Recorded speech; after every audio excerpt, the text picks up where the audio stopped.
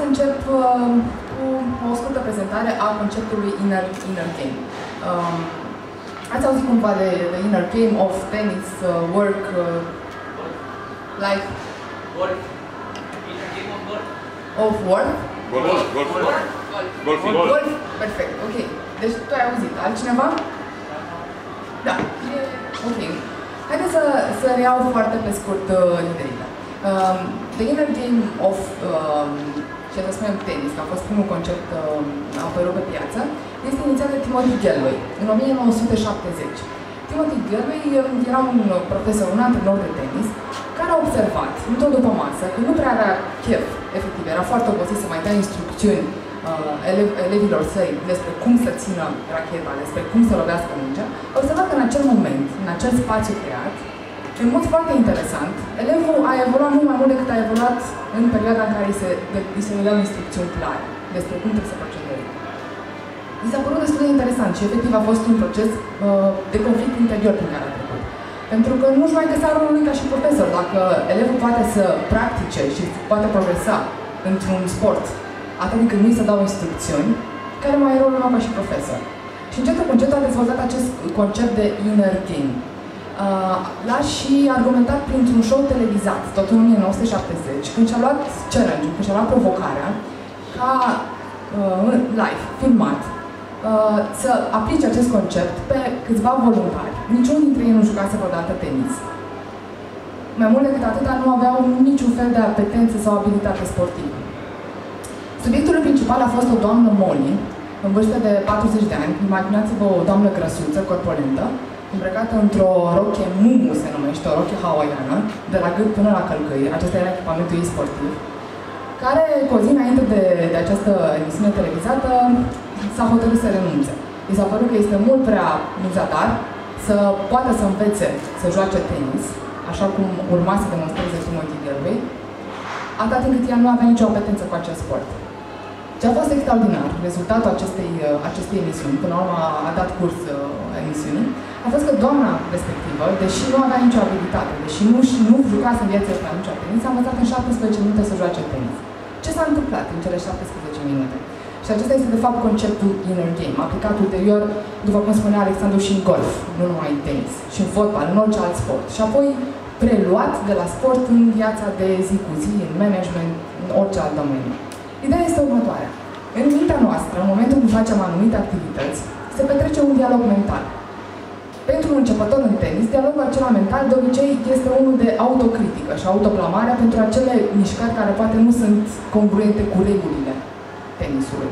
Dar poate nu ține racheta cum trebuie, poate nu lovește mingea cu viteza potrivită, poate nu face pașii suficient de rapid să ajungă la, la fileu în timp optim. Acest dialog mental oprește jucătorul și hai să spunem că îi, uh, ia foarte multă energie și îl oprește în a aloca timp efectiv asupra jocului. Ce a făcut Timothy în acele 17 minute a fost să ghideze persoana respectivă, pur și simplu să o ghideze, și să ghideze atenția de la acest proces interior. Vă dați seama la ce emoții era ea supusă. Era filmată, se transmitea emisiunea la televiziunea națională, era o persoană total antisport, era conștientă de mișcările poate stângace pe care le făcea și în același timp a reușit totuși niște progrese uimitoare. Ce a reușit Timothy să se realizeze prin acest ghidaj a fost practic să uh, îi uh, mute focusul de pe acest dialog interior, pe care de multe ori noi îl avem de derulat, pe minge, de exemplu, pe un element exterior. Și atunci ce a trebuit să facă Molly, pentru început, a fost să repete, deși pare puțin hipnotic, a trebuit să repete ceva de genul bounce hit, bounce hit, mimând cumva în mintea ei care este traseul pe care îl, îl parcurge mingea. Deci prima dată bounce lovește uh, terenul, da? Apoi hit, ea este cea care lovește mingea, în momentul în care mingea ajunge în dreptul ei. Ulterior a luat racheta de tenis și a început efectiv să se joace în modul cel mai natural, fiind încurajată pentru fiecare lucru bun pe care îl făcea. Atenția ei era pe minge, punctez încă o dată. Și, practic, toate acele uh, reglaje fine, de la genul cum ține racheta, cât de sus lovește, cât de repede se mișcă, le-a făcut în mod natural. Le-a făcut în mod natural și sub ghidarea lui Timothy.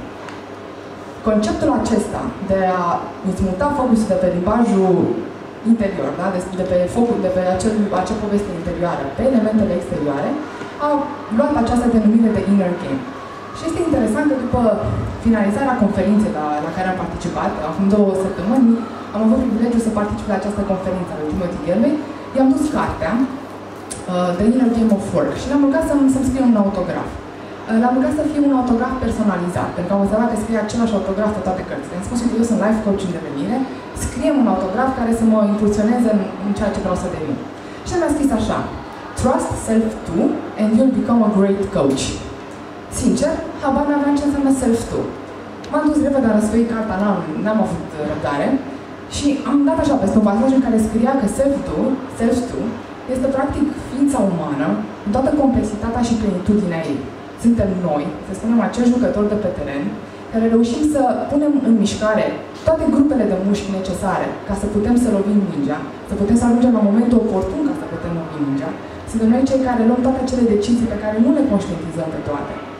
Suntem, dacă vreți, acel flow natural de mișcări care se produc într-un moment în care atenția noastră e efectiv uh, focusată pe proces și nu pe noi. Este, hai, interesant, deci asta este self-tool. Deci ar trebui ca și coach, da, și să devin acel coach extraordinar pe care, de care vorbea el, ar trebui să fiu total focusată pe proces și nu mai puțin focusată pe mine și ședințele de coach. Și mi s-a părut o chestie revelatoare. Ce este self-1 în contradicție cu self-2 este acel dialog mental pe care îl purtăm noi. Și de cele mai multe este un dialog care ne autosabotează și ne consumă foarte multă energie. Și mi s-a părut o chestie foarte interesantă. Și am zis, ok, hai să vedem cum pot să mulez acest proces de uh, inner game pe public speaking. Raportându-mă la, să spunem, primul meu speech pe care l-am ținut.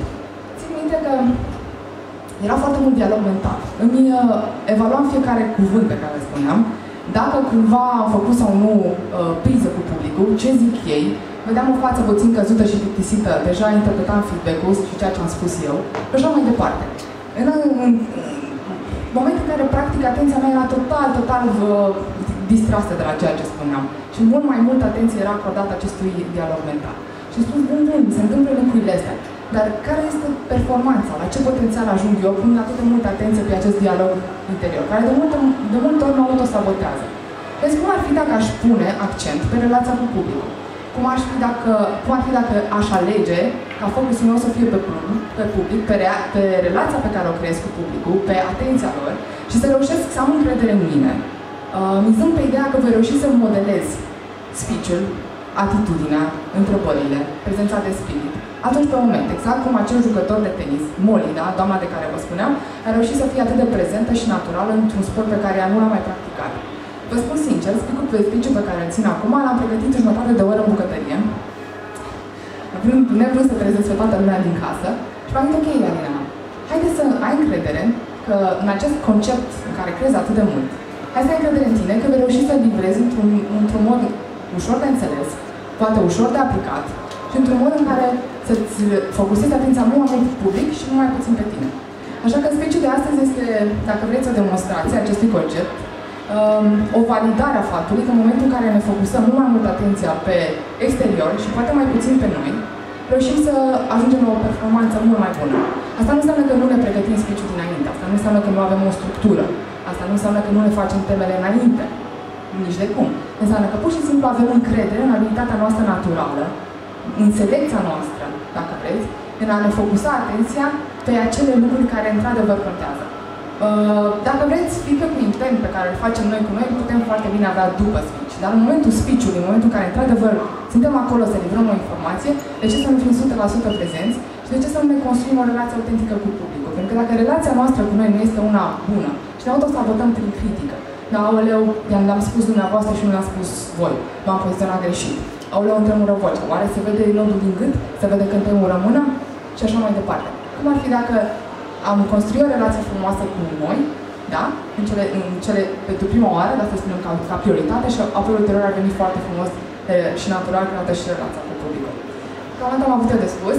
Sper să aplicați cu succes Inner Game of Public Speaking, de fiecare că veți avea ocazia să țineți speech și să luați, să luați această idee care mie mi se pare foarte frumos și, dacă vreți, natural și autentic de, de aplicat. Mulțumesc!